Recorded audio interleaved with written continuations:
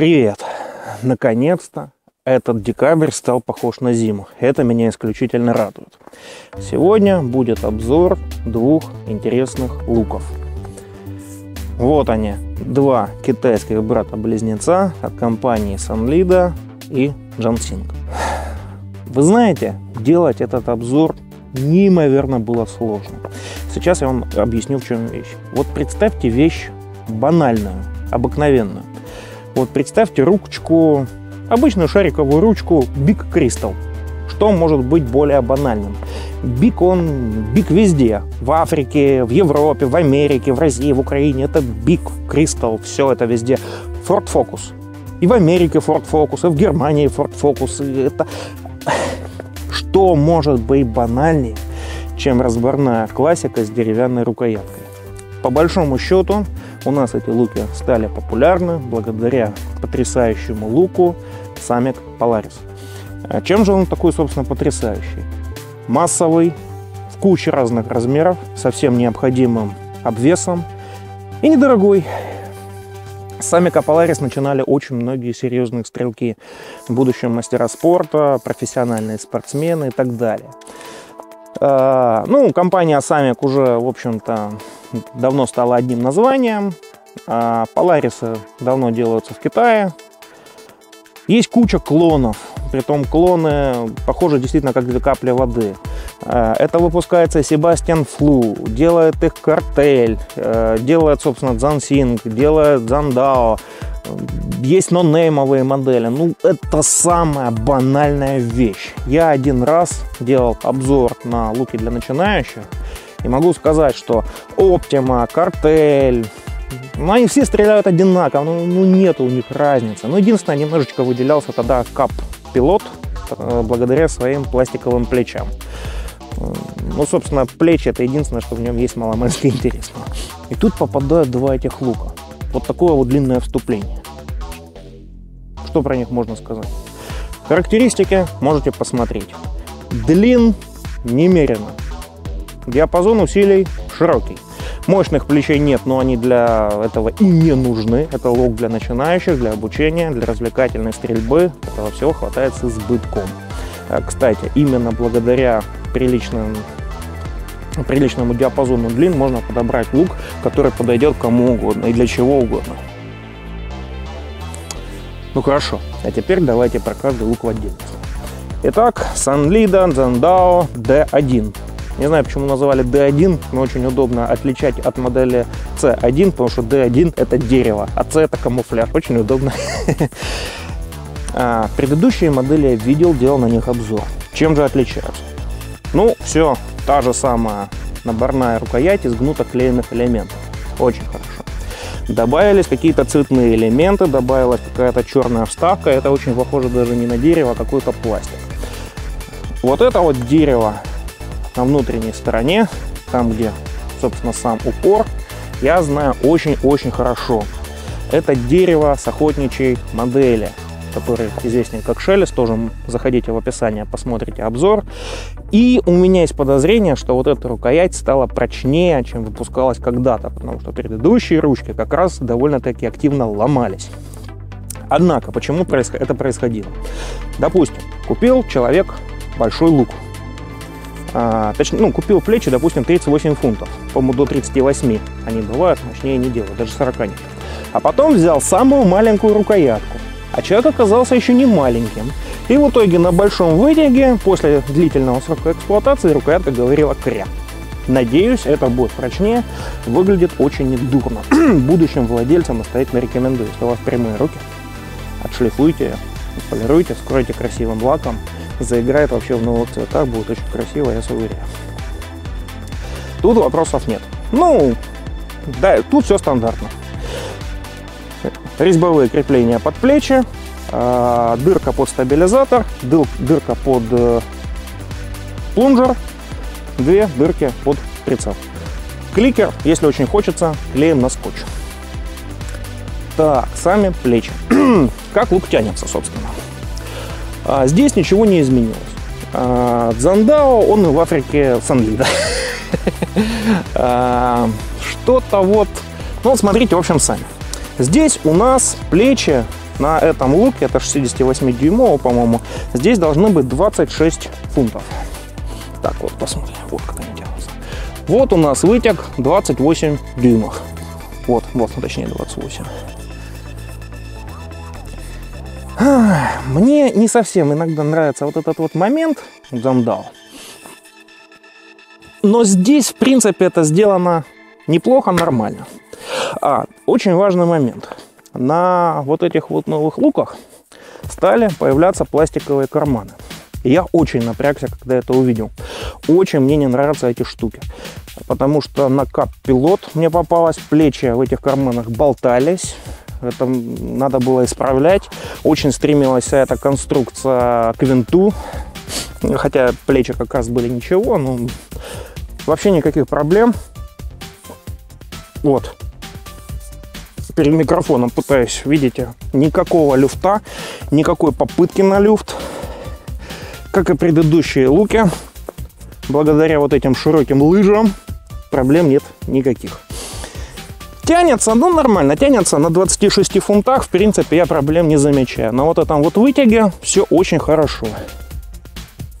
Пытается что-то вот здесь увеличиваться нагрузка, нормально. Нормальный, обычный лучок. Профессиональный какой-нибудь спортсмен, у которого а, ходит или вин-вин скажет, что лук дубоват, ну ладно. Нормально, годно, хорошо. Первая часть марлезонского балета закончена. Вторая часть марлезонского балета. Вот у нас Junxing. Это вообще тот самый Samick, те самые Sebastien Flute Optima и так далее. Потому что даже склейка очень-очень похожа. Э, хотя я видел на Алиэкспресс, там есть ручка вообще на вид цельно деревянная, еще что-то. Ну, то есть та же самая классика. Все те же самые крепления под плунжер, прицел, стабилизатор, карманы. Тоже пластиковые карманы, тоже никакого намека на люфт. Я плечи в эти карманы еле запихнул. Нет, они запихиваются, надо приложить усилия, но сидят мертво. Ну, вроде неплохо, хотя напрягает. Плечи джансинг – это что-то. Как это все тянется.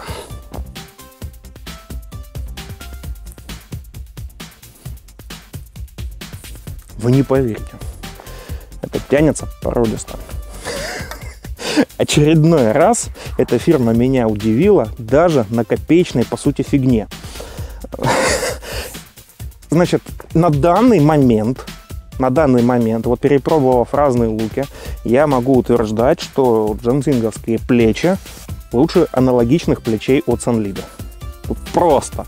Это чувствуется просто взяв рук, лук в руки и натянув его.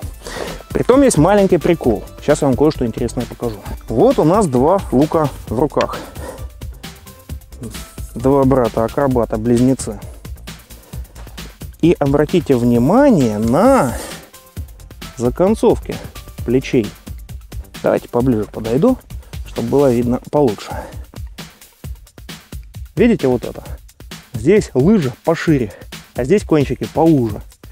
Одновременно я точно могу сказать, что самые законцовки на джансинге легче, чем на санлине.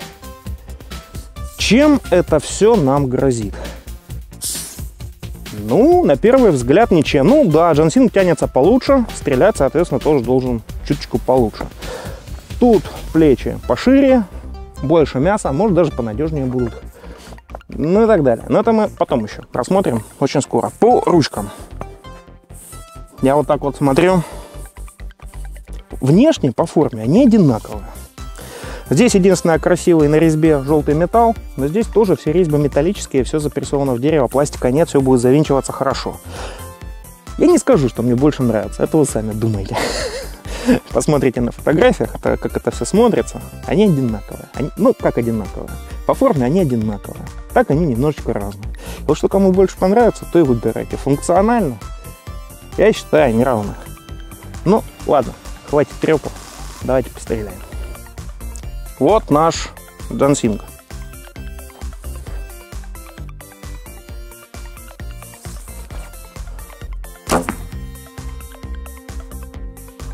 Мне знакомы эти ощущения.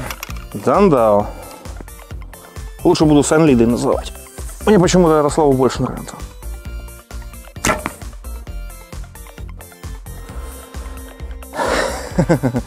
Сейчас объясню. Это тяжелая 30-граммовая стрела. Напоминаю, лук Я забыл. Тоже стрела 30 граммов.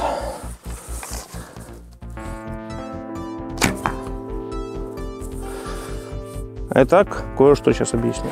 Да, луки очень похожи, вопросов нет. А теперь посмотрите на такой маленький прикол.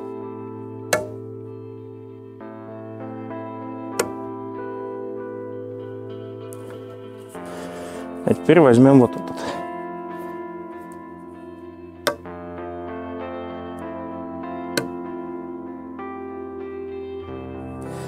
Здесь вибраций вообще по ощущениям реально поменьше. Здесь побольше. Вот и весь сказ. На тяжелых плечах это чувствуется меньше. То есть нужны очень легкие стрелы, чтобы вообще в это въехать. Не первый раз Дансинг меня удивил. Да, даже на самом дешевом луке плечи очень неплохи. Мне сразу вспомнился лук от фирмы Rajin. Это модель Matrix. Я делал на него обзор. Притом даже дважды он попадал мне в руки и всегда оставлял достаточно неплохие впечатления. Так вот, по ощущениям от стрельбы, вот этот лук ближе к Rajin. А вот этот ближе к Самик Polaris. Ну, по сути, это его копия во всем, разве что рукоятка покрасившая. Вот этот ближе к итальянцу плечи легче, а, лук чуть резче, очень хорошо мягенько тянется. Все отлично, все классно, все великолепно. Но вот у этой штуки есть громадное преимущество перед итальянским матриксом. Он не пытается вертолетить. Нет, я это говорю на полном серьезе. То есть попытки, то, что я делаю, это вообще не очень хорошо, но я пытался по-всякому этот лук нет. На самом дешевом луке этого нет. Короче говоря, если выставлять баллы, ну ладно, короче говоря, мне этот лук больше нравится, из него приятнее, приятнее стрелять. Он живее в руках при выстреле, э, по барабану, чем стрелять, легкими, тяжелыми, все он делает это неплохо. Он достаточно жесткий, он, ну, все нормально сделано, все хорошо. Какой-то там особой красоты, эстетики от луков за такие деньги ждать не стоит. Ну, хотя дерево здесь достаточно приятное. Дзандао, в принципе, в грязь лицом здесь вовсе не ударил. Если вы подумаете, что этот лук прямо намного хуже, это не совсем так. Во-первых, рукоятка выглядит все-таки покрасивше, побогаче, это факт. Плечи, ну, там белые, черные, там уж сами думаете, какие заказы, а кому больше что нравится. Да, он чуть-чуть пожестче. А, да, он чуть-чуть сильнее брыкается. Но Опять-таки, если вы будете стрелять маломальски тяжелыми стрелами, если вы поставите стабилизатор, эта разница будет практически незаметна. Это все очень хорошие луки для своего назначения. А теперь насчет банальности. Очень часто меня спрашивают, какой лук купить первым? И показывают кучу всяких моделей. Значит так, если вы не знаете, какой лук вам стоит купить, выбирайте класс, разборную классику, дешевую, с деревянной ручкой, с отъемными плечами. Вам хватит вот так. Подберите только эту классику по, скажем так, олимпийским прикидкам, ну, вот как на табличке. Ну, банально, если рост у вас средний, то есть если, если у вас есть хотя бы метр э, семьдесят, меньше 66 дюймов лук выбирать не надо. Если у вас лук, э, если у вас рост уже метр восемьдесят, берите 68-70 дюймов все будет хорошо. Этот лук прослужит долго, он не будет сразу ломаться, он не будет дубить при выкиде. А короткие луки на 64-62 дюйма, это ставьте все-таки лучше детям и маленьким стрелкам. Плюс у луков на 64-62 и меньше дюймов, у них даже сама рукоять поменьше. Взрослому крупному человеку будет она, ну, не совсем удобно, она теряется буквально в руке. Собственно, все. И я думаю, что я этот ролик назову с чего начинается арчерия. Потому что, по большому счету, для многих стрельба из лука, как развлекательная, так и профессиональная, начиналась все-таки вот именно с этого. И эти луки для этого созданы. Поэтому, если не знаете, что вам нужно, что вы вообще хотите стрельбу из лука, начните с этого. А дальше уже выберите, что вам больше по душе. Большое спасибо за внимание. Надеюсь, эта информация была вам полезна. До новых встреч. Пока. И, кстати, не забудьте посмотреть следующий обзор.